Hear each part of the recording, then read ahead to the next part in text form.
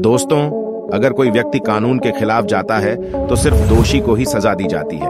ये बात तो आप जानते ही होंगे, लेकिन एक जेल ऐसी है जिसमें दोषी के साथ साथ उसकी पूरी फैमिली को भी रखा जाता है। ये जेल चारों ओर से जंगल और बर्फ़ से घिरी हुई है, और यहाँ सिर्फ़ खतरनाक कैदियों को उनकी फैमिली के साथ कैद किया जाता है।